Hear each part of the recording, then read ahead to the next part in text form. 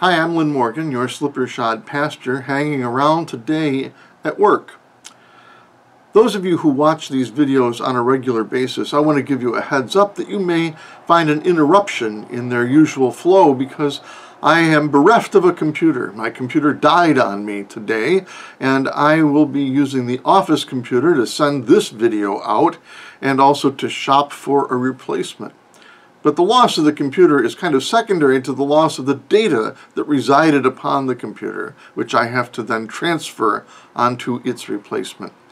That process can take some time, sometimes a day or two, to get done completely. So if you don't see my ugly puss on the internet for a little bit, that's not only a break for you, but it's also an indication that I am busily involved in trying to get back to normal with my computing abilities.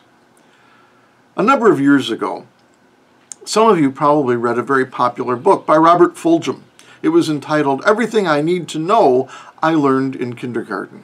It's a great book. And by the way, he was a Unitarian minister, and he had a lot of wisdom, as ministers sometimes do. And then there's the exceptions, like me.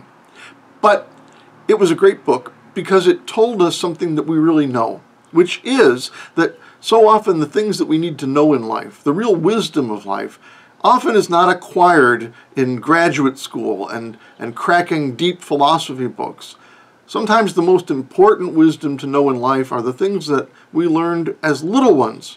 Simple lessons about how to live in the world, how to be good and kind people, how to be honest and honorable. Well, today I was thinking of just one of those things that our mothers told us, which was don't take the last cookie on the plate. I thought of that admonition from my mother while I was reading from the book of Leviticus, which is where the daily lectionary has us now that we have finished Exodus. Let me read a little bit for you from the book of Leviticus. This is from chapter 19, beginning at verse 9. When you reap the harvest of your land, you shall not reap to the very edges of your field or gather the gleanings of your harvest. You shall not strip your vineyard bare, or gather the fallen grapes of your vineyard. You shall leave them for the poor and the alien. I am the Lord your God. That's what that instruction is about. Don't eat the last cookie. If you are an agriculturalist, which like almost none of us are, then they were instructed to leave behind, after they'd made their harvest, anything that the pickers had missed on the first go round. Anything that was not yet ripe that they had left on the field. Leave that for the poor. Don't glean. Don't gather every last thing that you can get. Don't take the last cookie. As I say, most of us aren't farmers, so this, this instruction probably isn't immediately applicable to us. But some of us might be employers and how would that rule apply to us?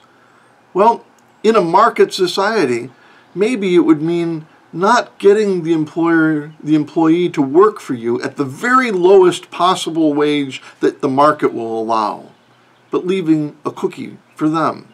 Maybe it would mean granting some benefits that you're not required to grant but which would make their life better and would cost you something there's no question. Leave a cookie for the poor Leave a cookie for the migrant. And of course, all of us, when we think about how we pay for the good life in society, we think of our taxes. And none of us want to pay more in our taxes, let's be honest. But when we make that calculation about how much is enough, what's right, we ought not to think merely, what can I get out of this? How can I maximize the value that comes to me? But also, how might our common purse work to make sure that the very poor, the stranger, the alien, the migrant is not left destitute. Because this isn't just a good idea. It isn't just the instruction of some political party. It's what God tells us to do. It's what our mothers told us to do. It is the right thing to do.